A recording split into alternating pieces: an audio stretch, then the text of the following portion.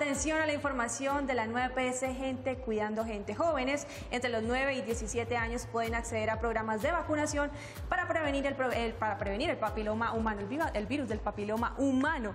Gracias a la nueva EPS Gente Cuidando Gente, aquí tenemos más detalles. El virus del papiloma humano es uno de los más comunes en todo el mundo.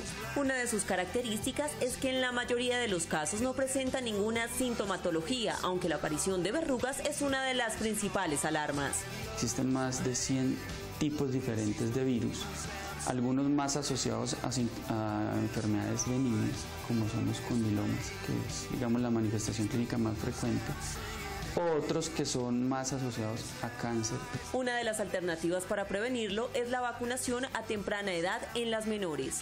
La principal medida frente a la infección por el virus del papiloma humano es la vacunación. Y la vacunación considerada desde el, desde el punto de vista profiláctico. O sea, profiláctico es en todas las... Por eso ahorita las campañas empiezan en niñas de los 9 años que no han iniciado su actividad sexual aunque se puede aplicar en adolescentes que ya han tenido relaciones, para mayor efectividad se debe suministrar la dosis antes, ya que se requieren varias aplicaciones. Es empezar en las niñas de 9 años un esquema que es el inicio a los 2 meses y a los 6 meses. Son tres dosis. En el programa ampliado de inmunización de la nueva EPS, las jóvenes entre 9 y 17 años de edad pueden acceder a la vacuna para la prevención del virus del papiloma humano.